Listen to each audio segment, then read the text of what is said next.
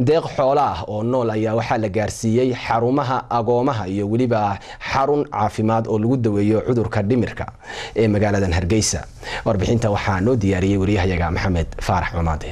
Maqaamka sheekh cumar ee ku yaalla magaalada hargeysa ayaa deeq xoolo nool ah gaadhsiiyey xarunta agoomaha ee magaalada hargeysa dhakhtarka dhimirka iyo jeelka weyn ee magaalada hargeysa. Ugu horreyn waxaa munaasabadii loo qabtay wareejinta xoolahani ka hadlay maxamed cabdilaahi oo ah wakiilka maqaamka sheekh cumar iyo sidoo kale xildhibaan indha indho oo ka tirsan golaha guurtida somalilan ku hadlaya afka maqaamka sheekh cumar yuusuf.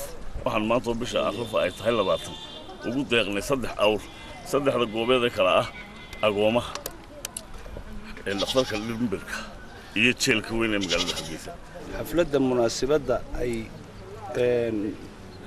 wakiilka maqaamka sheekh cumar uu ku wareejinayo awrtii berigii hore inta la qaado la geyn jiray maqaamka xooggeeda. Inkastoo iminkaba lagu qaban doono qaar kale oo la yareeyey uun mooyaane oo tan ay u arkeen inay ka faa'iido badan tahay oo dadkani ay ka baahi badan yihiin dadkii meesha iman jiray oo ay xagga xasanaadkana dadka xanuunsanaya carruurta agoomaha ee halkan joogta iyo dadka maxaabiista ah ee asxaabulxayga ah inay ka xasanaad badan yihiin ay ogaadeen in ay saddexdaana xusaan maqaamkiina wax yar ku sameeyaan halkii maqaamka awal la weynayn jiray. Aad iyo aad baan ugu mahadnaqayaa wakiilka maqaamka iyo caasho oo ka guddoontay.